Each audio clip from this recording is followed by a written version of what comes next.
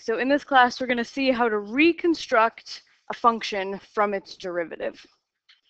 So we're also going to explore the fundamental theorem of calculus part one.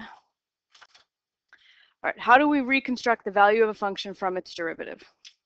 So we're going to let f of t represent the value of a stock market investment t months after January this year. So the original function f is the value of the stock as a function of time. So then f prime of t represents the rate of change of the value of the investment. How would what would the units be in the rate of change of the value?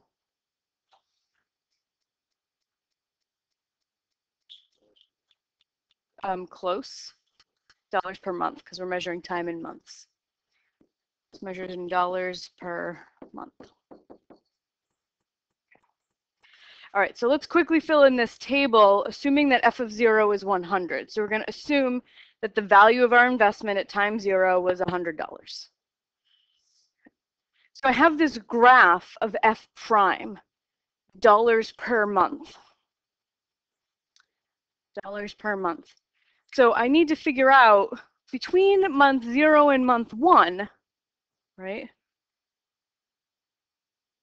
What does that tell me about the value of my investment? It went up by $20. This is not a graph of the value of the investment itself. This is a graph of the rate of change. This is how the value is changing. This says over the first month, the investment changed by $20 per month. So if we think about the area of this rectangle right here, the width here is one month.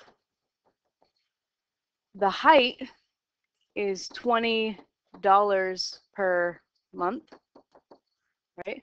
So the area of that thing, $20 per month times one month gives a value of $20 right? The months cancel, you get $20.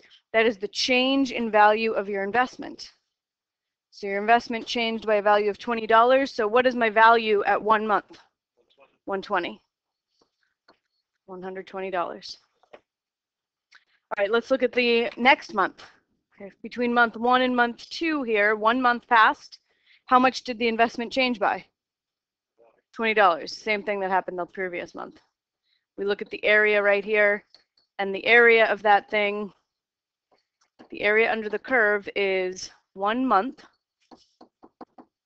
times $20 per month. And then the months cancel, and you just get $20. So the rep so we changed um, by $20. We started at 120. The investment changed by value of $20, so we end up at 140. All right. Look at what happened between month two and month three. Month two and month three. What is the area under the curve there? 15, yeah. Because this little chunk here is 10, right? 1 by 10. And then this is a triangle, which is 1 half of 1 by 10, so it's 5. So this area is $15. So if we started at 140, the area under the curve tells me that my investment changed by a value of $15. So I'm now at 155. All right, between month three and month four, how did my investment change? Up by $5. So now I'm at 160. All right, month four to month five, what happened to my investment? Decreased by 10. Yeah, because this is a triangle, so to find the area of that, it would be 1 by 10 times a half, because it's a triangle. So it went down by 10. How do you know that it went down? It's below the x-axis, right? So this says that um, the value of my investment was decreasing because the derivative is negative. Derivative is negative. This area is under the x-axis, so it's negative. So my value decreases by 10. I'm at 150 now.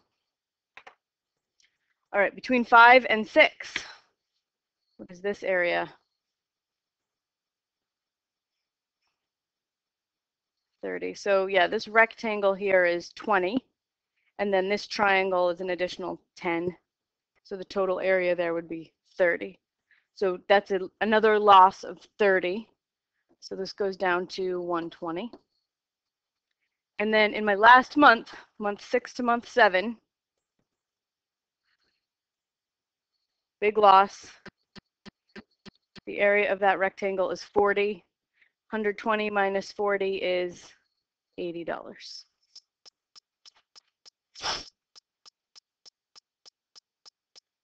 Okay, so as we've just seen, the area between the derivative and the t-axis represents the change in value of the investment.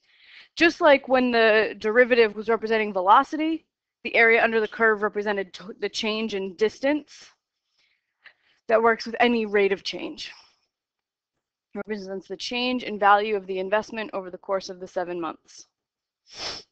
So we can represent the area with a definite integral, the integral from 0 to 7 of f prime of t dt. That tells you the area under the curve. It counts stuff below the t-axis as negative, which we did because that represented a loss. We could also represent the change in value of the investment over the course of seven months by just taking the value at 7 and the value at 0 and subtracting. That would tell you how much your investment changed over those seven months, right? So putting those two things together, the integral from 0 to 7 of f prime of t dt is the same thing, it's just a, another way of calculating f of 7 minus f of 0, the total change in the investment over seven months. This is the fundamental theorem of calculus, part one. It says that if f prime is continuous on an interval from a to b, then the integral from a to b of f prime of t, f prime of t dt is equal to f of b minus f of a.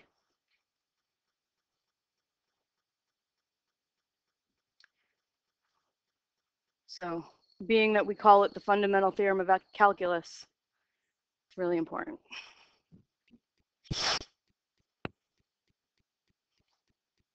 There are also fundamental theorems of arithmetic and algebra. Do you guys know what they are?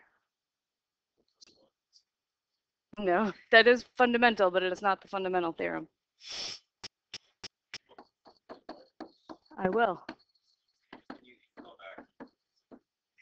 Sure. f of 7 minus f of 0. In our example, negative 20. So that's saying that we lost $20 over the course of seven months of investing.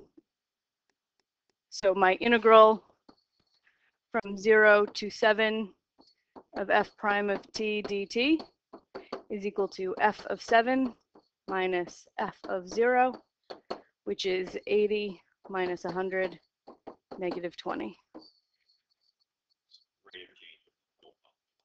Yeah. Yeah. So this this is two different ways of calculating the total change in our investment. This represents a $20 loss over seven months, total change in the investment.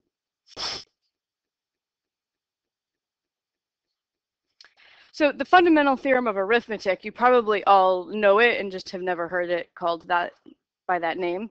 It says that any number can be written as a unique product of primes. Every number has a unique prime factorization. Sure, like at some point in your life you made a factor tree. That's the fundamental theorem of arithmetic. The fundamental theorem of algebra is similar. It says that any polynomial can be factored into um, a unique product of linear factors. You did that in college algebra. I know some of you did. um, and then this one is the fundamental theorem of calculus. Okay, so important fact, the units on the integral from f prime of t dt are the product of the t units and the f prime units. Because remember, we're calculating this integral by taking an area under the curve, and f prime of t, that represents the height of a rectangle, so its units, and then dt, that represents the width of your rectangle, so if you take the f prime units times the t units and multiply them, you get the units of the area of that rectangle. So the integral um, has units, t units times f prime units. All right, so let's look at another example. The rate of flow of oil through a pipe. So this is telling us how fast the oil is flowing through the pipe, right? Not how much, but how fast. Is given by f prime of t, so I'm using the prime to represent that this is a speed, not an amount. t times 2 plus sine t over 3 plus t gallons per minute at time t. So you plug in a time and it tells you how fast in gallons per minute. So we're going to use technology, use our graphing calculator to find the amount of oil that has passed through the pipe in the first 20 minutes. So if you have a rate of change, the total amount of change can be calculated using an integral. So I could do an integral from 0 to 20 of f prime of t dt right? Because my F prime units, right? F prime is measured in gallons per minute. And my dt units, my time units, is measured in minutes. So when you do F prime of t dt, gallons per minute times minutes gives you gallons, right? Okay, so this is going to tell me my exact amount of change in the oil that has passed through the pipe. How much oil has passed through the pipe measured in gallons. So if I if I happened to know um, a formula for F, I could do F of 20 minus F of 0, right? That would also tell me how much oil has passed through the pipe over 20 minutes. I could try to find, I could try to come up with some function f whose derivative is this, but this is pretty complicated. Um, it is possible, but there's some some techniques that aren't necessarily intuitive.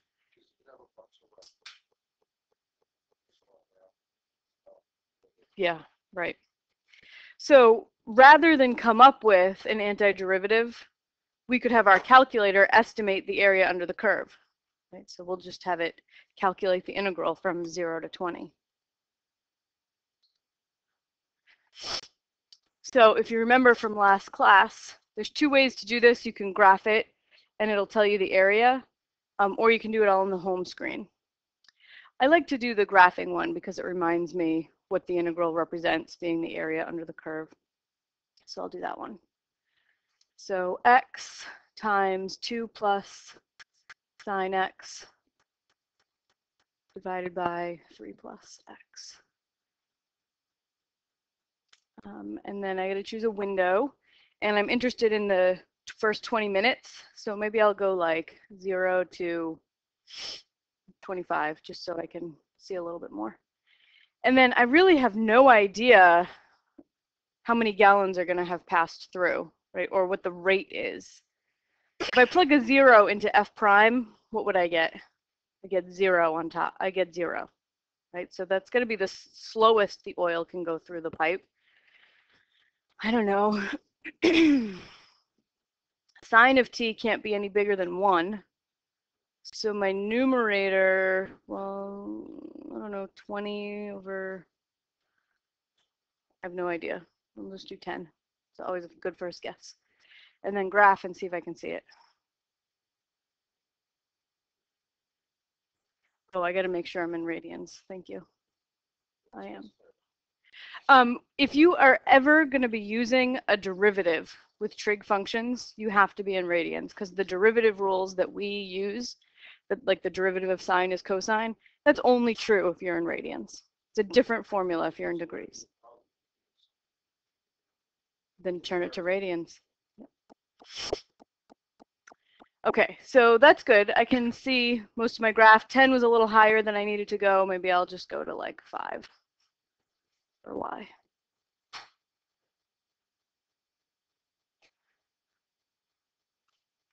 All right, so I'm interested in the area under this curve from 0 to 20, first 20 minutes.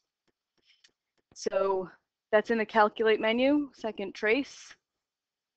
And number seven is integral. And you, it asks for a lower limit, 0, upper limit, 20, and it will shade the area under the curve and calculate how much area there is. Because that's the area under a rate of change, it represents total change of the original function, not the derivative, but total change in f. So that is 27.55 gallons. Small pipe, yep.